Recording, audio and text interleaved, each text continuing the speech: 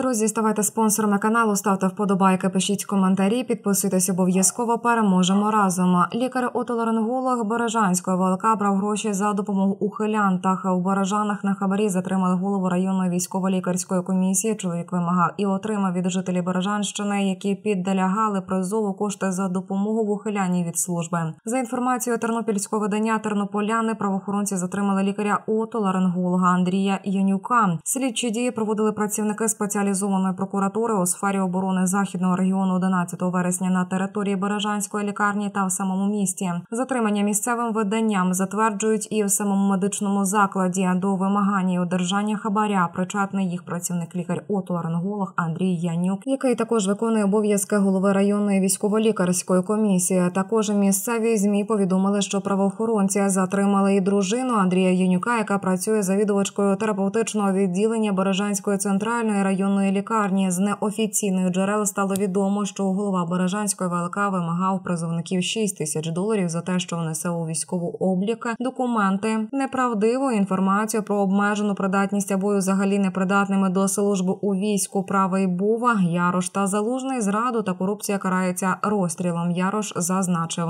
Вважаю, що під час воєнного стану в Україні має діяти вища міра покарання розстріл у першу чергу за державну зраду, у другу за корупцію, у третю за ідіотизм, який дорівнює державній зраді. Хто буде блеяти про демократію і права людини, хай заткнеться на війні свої закони, наголосив Дмитро Ярош. А ви підтримуєте законопроєкт, який приписується залужному щодо конфіскації майна у корупціонерів та відправки їх на фронт. Всього шість пунктів, які дозволять перемогти. Деякі провійськові депутати хочуть просунути ініціативу та закони залужного, який кардинально змінить підпорядкування військових бренд керівників Єрмака, приберуть від генералів, а чинушам заборонять піаритися на військових на передніх лініях. Крім того, армія буде в пріоритеті, а крадіжка в Міноборони будуть серйозно каратися. Все буде під контролем генералу. До зустрічі, друзі. Ставайте спонсорами каналу, ставте вподобайки, пишіть коментарі, підписуйтесь обов'язково. Переможемо разом.